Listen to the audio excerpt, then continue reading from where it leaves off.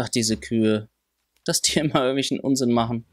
Dass die eine da stirbt oder was. Und ab hier wird der Aufstieg schon mühseliger. Ja, und warum die Tintenfische hier so viele davon sind und hier auch irgendwie sterben, ist alles ein bisschen rätselhaft.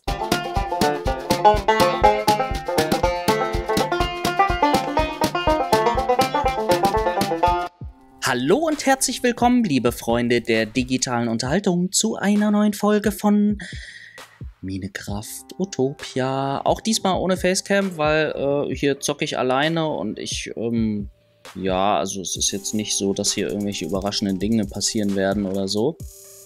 Ich gehe mal in die Innenansicht mit F5, zack, und werde mal, bevor ich hier losstreune, ich stehe hier auf meinem Balkon, es ist gerade morgen, ich habe gerade gepennt, also hier in-game, in der Welt.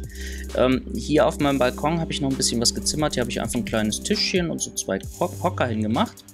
Und äh, ich bin auch mal gefragt worden, warum am Balkon hier diese Geländer nicht zu Ende gemacht worden sind. Und das hat den einfachen Grund, man kann hier außen auf der Balustrade rumlaufen. Das ist mit Absicht so gemacht für den Fall, dass man angegriffen wird oder sonst irgendwas passiert, dass man so eine Fluchtmöglichkeit hat. Und ich glaube, warte mal, hatte ich nicht sogar eine Möglichkeit geschaffen, hier hochzuklettern? Nee. Das wäre auch noch nice. Ich könnte da ja mal eine Leiter oder so anbringen. Ähm, obwohl, nee, ich habe ja eine Leiter auf der anderen Seite. Brauche ich eigentlich gar nicht. Und zwar ist die hier. Und da kommt man hoch, dann muss man nach links und dann ist man hier oben drauf. Äh, das kennt ihr schon aus der letzten Aufnahme.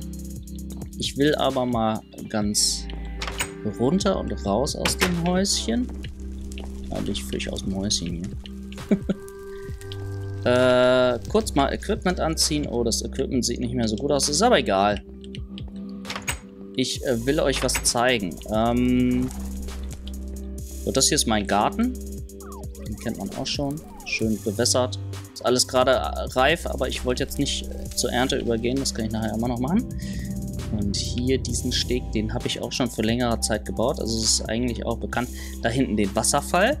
Den habe ich nochmal ein bisschen verändert. Ähm, gibt eine ganz, ganz alte Folge, wo ich den mal angelegt habe. Und äh, da hinten, äh, da sieht man ein Loch, da habe ich so eine Höhle reingegraben. Da ist irgendwie Zeug drin. Und da oben ist auch noch eine Höhle, die gucken wir uns mal an. Beziehungsweise ich zeige euch mal hier.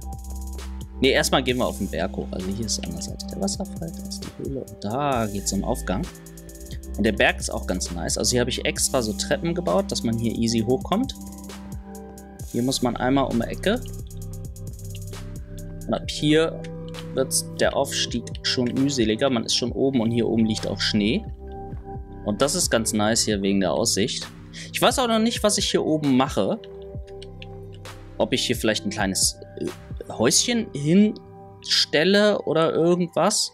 So hier am Rand muss man jetzt aufpassen. Da wird mir ein bisschen schwindelig. Oh Gott. Sneaken, sneaken, sneaken. Das ist krass. Da unten das ist auch sehr interessant, das kann ich euch nachher auch nochmal zeigen. Und das ist schon wieder eine Kuh im Wasser, naja. Ähm, ist so eine Höhle und das Wasser hört da irgendwie direkt auf. Das ist ein bisschen strange. Hier ist auch eine Kuh. Hallo Kuh. Wir sind ein bisschen zu hoch. Ja, eine Kuh am Berg. So, hier muss man sich merken, dass man hinterm Baum wieder runter kann. Und dann zeige ich euch mal die andere Höhle. wir hier lang gehen. Ja, hier. Die habe ich irgendwann mal ausgehoben. Ich weiß auch noch nicht, was ich hier draus mache. Ich hatte auch überlegt, ähm, da ich ja hier am Meer bin und das so ganz schön ist ähm, und das so ein Fischerhäuschen ist, kann ich das Ganze ja noch ein bisschen moderner aufziehen und sagen, okay, ich mache da eine Tauchschule hin und äh, für eine Tauchschule braucht man ja auch schöne Höhlen, wo man durchtauchen kann. Und hier wäre zum Beispiel die Möglichkeit, auch noch einen Wasserfall rauszumachen und diese ganze Höhle mit Wasser zu füllen. Keine Ahnung, ob das geht. In Minecraft bestimmt geht das irgendwie. Und hier unten habe ich nämlich runtergegraben, kommt man auf der anderen Seite raus. Das heißt, man kann hier so einmal durchtauchen. Das fände ich nice. Mache ich so ein bisschen ein auf Tauchschule. Und hier kommt man wieder raus. Und hier fließt dann wieder ein Wasserfall runter. Was sind denn das für Linien da im Wasser? Das sieht strange aus. Was ist das hier? Das sind Schatten. Das liegt am Shader, oder? Warum sieht das so merkwürdig aus? Krass. Das, vielleicht sind das die God Rays oder so. Und warum hier so viele Tintenfische sich tummeln, ist mir auch ein Rätsel. So, da hinten ist die Höhle. Da ist mir mal fol folgendes passiert. Ich bin hier mit dem Boot rumgefahren. Das mache ich jetzt nicht. Alleine schon wegen der Tintenfische, dann würde das Boot kaputt gehen. Ähm, bin ich mit dem Boot rumgefahren und wir äh, nähern uns mal hier ganz vorsichtig von der Seite. Oh, hier ist ein Tintenfisch gestorben. Krass. Mehrere sogar. Und hier geht's in so eine Höhle rein. Und hier endet das Wasser. Das habe ich nicht so gebaut. Das ist irgendwie so da unten habe ich vielleicht dann einen Stein mal gesetzt. Kuh, was willst du? Ach, diese Kühe. Dass die immer irgendwelchen Unsinn machen. Dass die eine da stirbt oder was? Ja, und warum die Tintenfische hier so viele davon sind und hier auch irgendwie sterben, ist alles ein bisschen rätselhaft. Äh, wir können ja mal eine kleine Exkursion machen. Also diese Höhle, guck mal, das geht da richtig tief rein. Also das ist natürlich entstanden irgendwie. Und hier ist Eisen. Nice. Kann man natürlich gebrauchen. So, ich jump hier mal runter. Habe ich eigentlich irgendwas mit dabei? Ne, außer ein Boot habe ich sonst nichts dabei.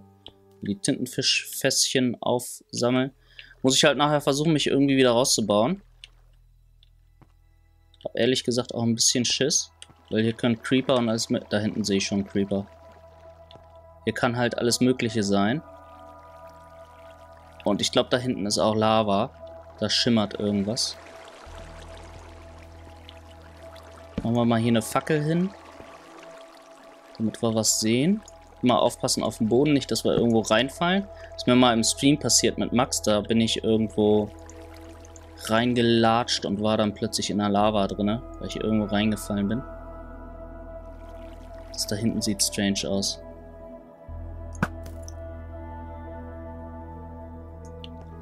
Den haben wir getroffen. Ah, da fließt, glaube ich, Wasser runter. Das kann sein. Und da spiegelt sich irgendwas im Wasser. Sobald ich Schritte höre, muss ich aufpassen.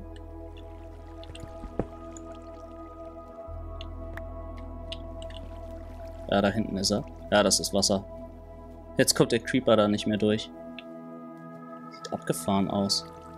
Da muss ja noch mehr Zeug irgendwie sein. Oder ist, mein Bogen spiegelt sich da. So, Creeper ist tot. Nehmen wir mal noch eine Fackel an. Ich habe ein bisschen Angst. Da geht es irgendwie runter. Ah, der ist hier reingefallen. Okay. Da hinten ist noch mehr Wasser. Lustig, wie sich äh, bei diesem Shader das Wasser spiegelt.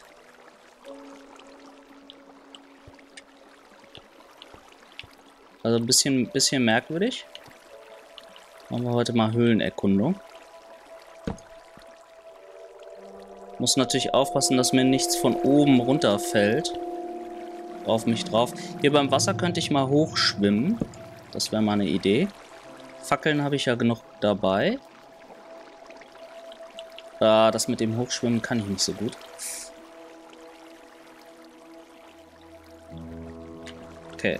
Hier sind wir halbwegs safe. Komme ich da irgendwie rüber?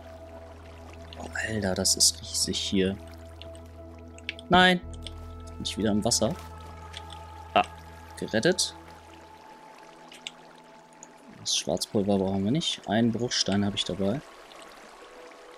Da unten, das ist natürlich auch alles ein bisschen strange. Also abgefahrene Höhle. Machen wir das Ganze so hier. Zack, zack.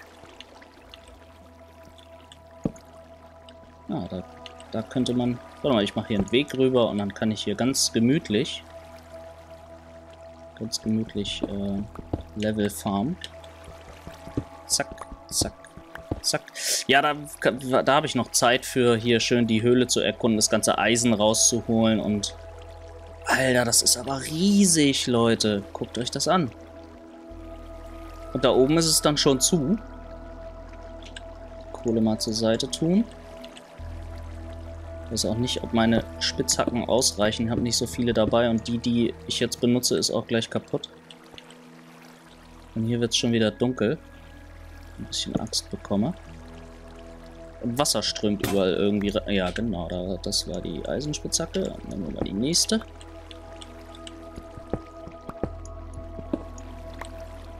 Also dann komme ich hier um die Ecke und dann ist da plötzlich irgendein Monster. Das kenne ich doch alles schon. Zumindest durch die Fackeln können jetzt keine mehr spawnen. Zumindest nicht im unteren Bereich, im oberen Bereich schon. Und hier hört es wahrscheinlich auf. Ist da noch weiter? Ne, das ist äh, ein Dead End hier. Wäre nicht schlimm. Versuchen wir mal ein Level höher zu kommen. Krass. Krass, krass, krass, krass. Also eine ganz schön krasse Höhle. Ich kann ja mal gucken, ob hier unten auch noch was ist, aber nicht, dass ich da irgendwie in Monster reinfalle. Uah, ich traue mich nicht. Naja gut, ich mach's einfach. Schwert im Anschlag. Oh, hier unten scheint noch mehr abzugehen. Ja. Also hier unten ist doch noch ein bisschen mehr. Allerdings alles irgendwie Wasser überflutet. Das ist jetzt gefährlich, ne? Wenn hier ein Monster ist, dann... Oh, da oben geht's wieder raus. Krass. Und da auch. Krasse Number. Das ist echt eine abgefahrene Höhle. Ich weiß auch gar nicht wie ich, mehr, wie ich hier überhaupt rauskommen soll. Na gut, hochbauen geht immer. Sich rausgraben. Versuch mal hochzuschwimmen. Gucken, wo wir da rauskommen.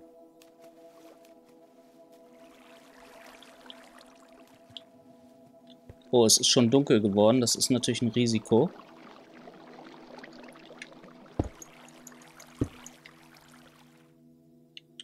Gucken, wo wir jetzt sind.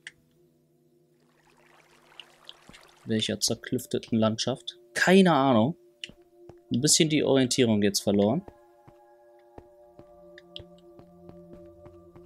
Schafe, Kühe und der Mond.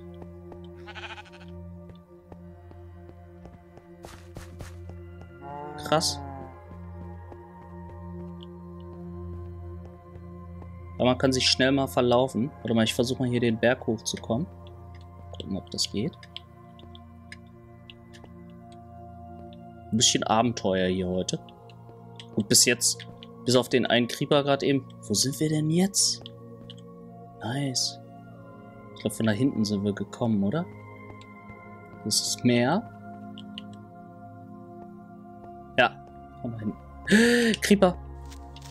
Ja, komm. Alter Falter. Ich habe zum Glück die Schritte gehört. Krass, krass, krass. Okay. Oh, da unten ist nochmal so ein Loch. Und hier wahrscheinlich jetzt auch. Kurz mal gucken. Ne, hier ist keins. Was war das? Aber hier ist ein Loch. Ein Skelett gehört. Uah, das waren Zombie-Geräusche. Wahrscheinlich von da unten. Kühe. Ja, die latschen dann hier runter, die Kühe, und dann sind sie beim Wasser gefangen, so wie die zwei da unten. Oh, das war jetzt ein bisschen aufregend. Da hinten ist schon wieder.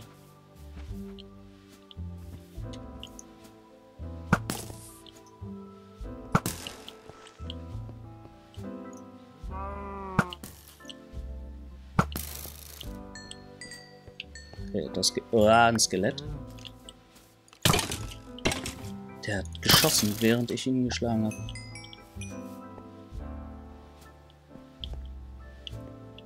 Versuchen wir mal da hoch. Ah, hier, hier war ich schon mal. Glaube ich. Weil hier vorne ist was Unnatürliches. Ja, den, dieses Holz habe ich da mal hingesetzt, damit man hier hochkommt. Ich glaube, da habe ich mal versucht, einen Esel irgendwie rüber zu... Ah, jetzt weiß ich, wo, wo ich wieder bin. Da hinten, wo es leuchtet, da ist mein Haus. Ja. Hier die ganzen Bäume habe ich mal gepflanzt. Damit man hier... Und schon sind wir wieder zurück. Tada! Ah, hier steht noch eine Kiste. Wahrscheinlich vom Wegbau. Ja, ja. Nice. Alright. Ja. Da ist eine Fackel angebracht. Also, ich bin am überlegen, was ich da oben reinmache. Also, keine Ahnung, oben auf dem Berg vielleicht so eine kleine Hütte. Echt so eine, so eine kleine winzige Holzhütte, die so für Bergsteiger gedacht ist, um äh, kurz zu rasten oder im Notfall da auch mal zu pennen, wenn man irgendwie mitten im Schneesturm sich nicht mehr runter traut vom Berg. Wobei der Weg hier oben ist ja echt easy. Also hier einmal hochlatschen und dann so ein bisschen kraxeln. Gucken wieder. Ein Enderman. Oh, da erschrecke ich mich immer so dermaßen. Entweder ist er im Berg drin oder er steht jetzt hier oben irgendwo rum. Ich sehe noch nichts. Ich sehe auch keine Partikel. Aber gehört habe ich ihn. Alter, ja gut, solange ich ihn nicht angucke. Ja, erzähl mir Geschichten. Wahrscheinlich ist hier eine Höhle irgendwie drin. Das würde mich nicht wundern. Ansonsten weiß ich auch nicht, wo der ist.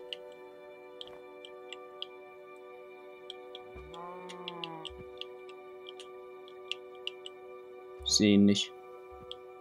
Vielleicht ist er auch schon weiter gespawnt. Oh, da hinten ein Skelett.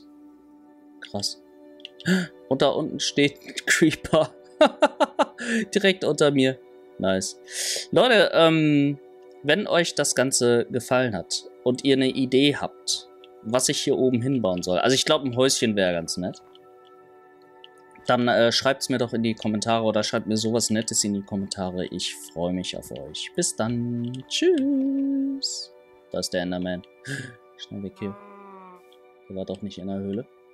Der ist da hochgelatscht. Wo ist er jetzt hin? Hat sich weggebaut. Ne, da hinten steht er. Ne, den lasse ich in Ruhe. Tschüss, Leute.